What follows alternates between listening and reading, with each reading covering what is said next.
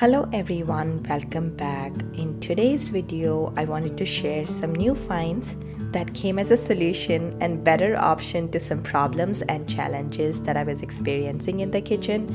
So hopefully you can get some ideas if you're facing some of the similar problems that I was facing. And if you find today's video helpful and want to show your support, it always helps if you give this video a thumbs up and subscribe to the channel for future videos.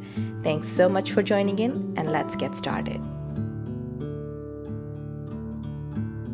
First of all, I wanted to share some changes that I made to my undersink kitchen organization.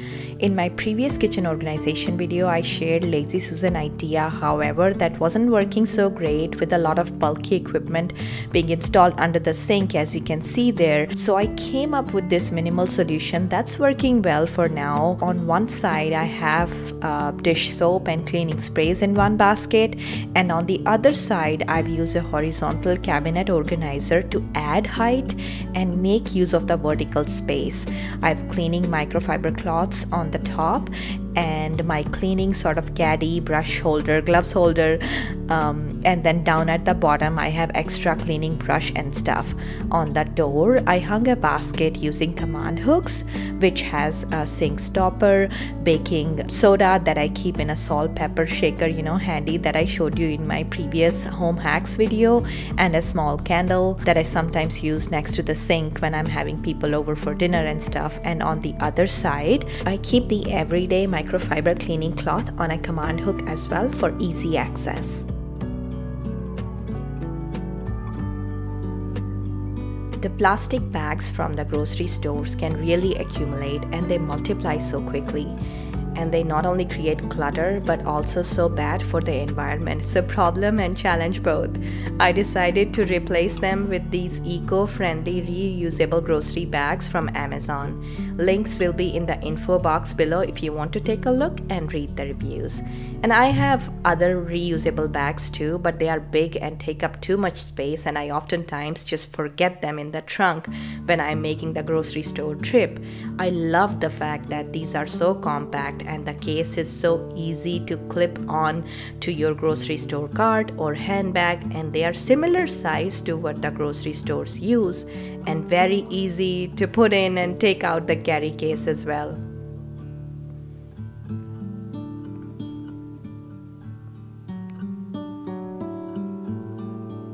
These bags are light as a feather but very strong, durable, and comfortable in your hand when carrying the groceries into the house. The material is windbreaker type and it's machine washable.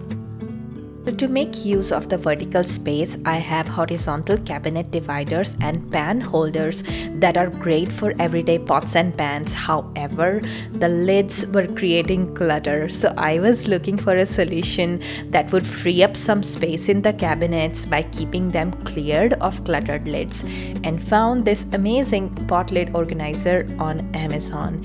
It comes with screws, but I decided to use a big command hook in the cabinet instead of the door door. Of course, you can install it on the door also. I love the fact that now I don't have to pull every pan and lid out of the cabinet to get to a lid and they are right there for me in plain sight. I absolutely love this one.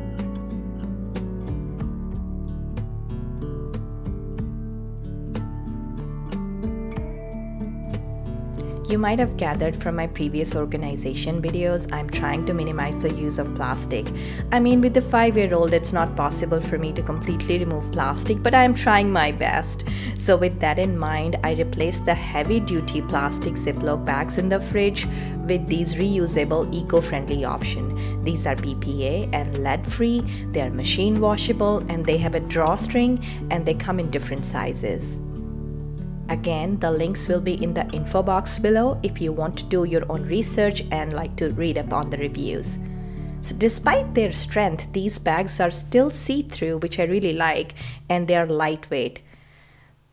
They do a great job of maintaining the right amount of moisture in the bag, so everything tends to last longer, I think. I'm very happy with this purchase.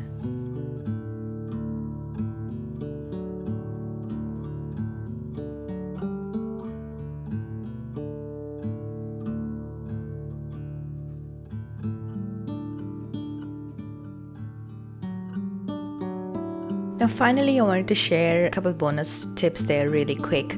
A lot of people ask me, what do you keep on your countertops? So I keep my countertops as clear as possible.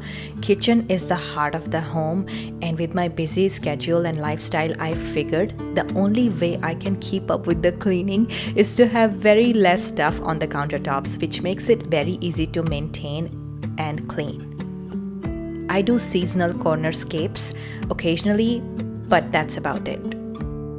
And then decluttering and I say this in pretty much every organization video that I have shared declutter from time to time. That is the only way to stay organized. I know some people do extreme decluttering at one time, but that's not a viable option for me as I know I would get so exhausted and lose interest halfway. So I try to do it in small batches several times a year. That way, my home stays clutter free and organized. So, those were all of the tips and ideas that I had to share for today. I really hope you got some ideas and inspiration. If you did and want to show your support, please give this video a thumbs up and subscribe to my channel for future videos. Thank you so much for watching. I'll see you guys next time. Bye for now.